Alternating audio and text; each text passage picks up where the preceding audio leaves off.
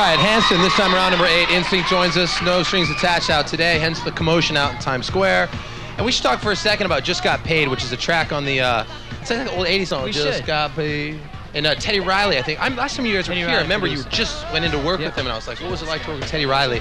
Tell us about that track. Why that song? Because it's cool. Uh, I, basically, it was like it came uh, to us by Johnny, our manager, and he's like, "What about that kind of idea?" And we're like, "Yeah, sure. So why not?" So we did actually demo it. We did it, and then actually Teddy Riley heard it, and what better way to, to do it? He wanted to do. it. He's like, "Listen, I, I want to remix it and do a whole new track, re- re-record it." He's like, "Sure." He did the Why not? original. So And the original was like a huge, like club hit. You hope that Yeah. this Yeah. one is Oh like, yeah. New Jack Swing. Yeah. I just want to reintroduce everybody to New Jack Swing. It's been off the map for about 10 years now, and it's time that, you know, we wanted, like I said, we wanted this album to be musical, so it's got a little bit of something for everybody. So why not throw on some New Jack Swing and reintroduce it to some people who've never heard it? you know what I say to that?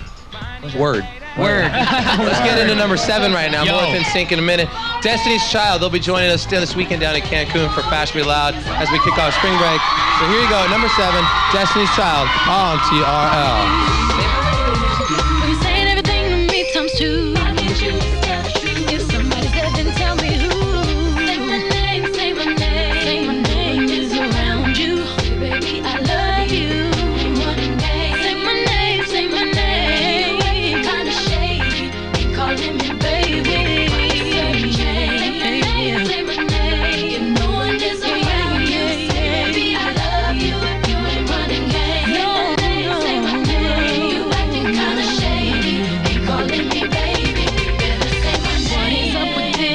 The truth. Who you with? How would you? Hi, we're no refund. And we wanted to request Destiny's Child because we want them to come on tour with us because we love you girls and you're the best.